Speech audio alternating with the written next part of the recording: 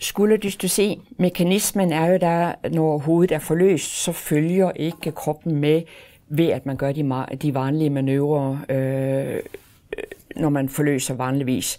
Det man ofte vil se, det er, at hovedet på en måde vil trække sig ind over. En sådan følelse af, at hvis man drar i hovedet, så er det bare halsen, der forlænges, så der sker ikke noget mere. Og der er det, fordi fremre skuldre har kilet sig op under symfysen, og ikke øh, kommer sig ned i skråviden, som er det, der er den normale forløsningsmetode. Hvis sådan opstår, så er det vigtigt at være rask. Øh, man skal have hjælp.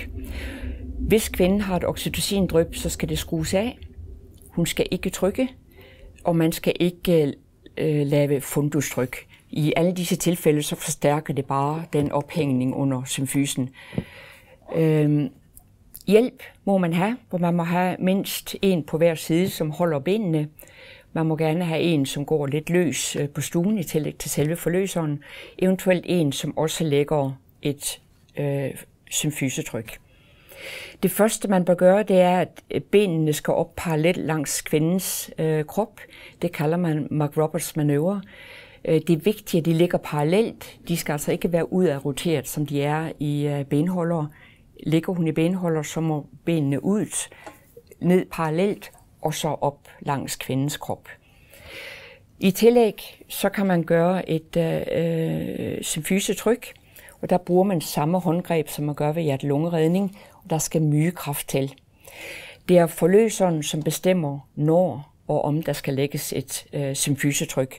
Og der må det lægges på øh, barnets rygside, det vil sige, at hjælperen må få besked om, ryggen ligger til højre eller til venstre.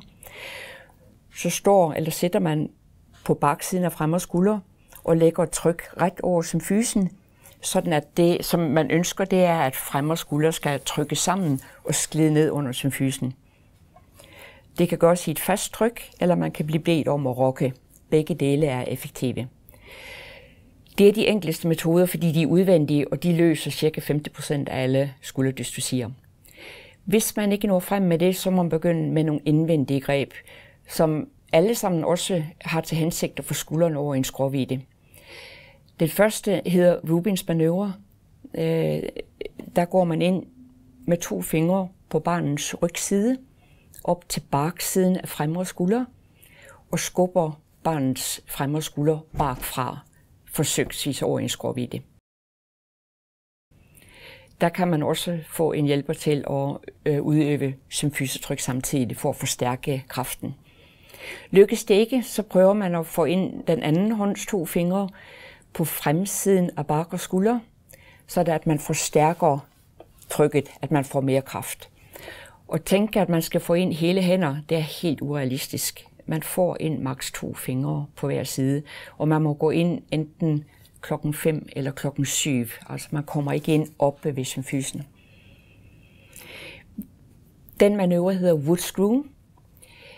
Hvis den ikke lykkes heller, så kan man prøve at lade de fire fingre bytte plads. Altså den, som egentlig var på baksiden af øh, bak og skulder, glider op på fremme skulder, og den anden, som var på fremme skulder, glider ned på baksiden og prøver at rotere barnet den modsatte vej. Hvis ikke det heller lykkes, så må man prøve at gå ind og fjerne øh, bakre arm. Hvis man får tag i den, så kan man lade den rulle over barnets brystside, sådan at bakre øh, arm, skulder falder sammen. Det giver mere plads og får barnet roteret ud. Øh, hvis det heller ikke lykkes, så må man prøve at få kvinden over på alle fire og gentage manøvren. Når det er sagt, øh, så er der øh, studier, som tyder på, at alternative fødestillinger, sideleje, knæstående, i udgangspunktet kan hindre skulderdystosi. Så det kan man have i mente, når man er jordmorforløser.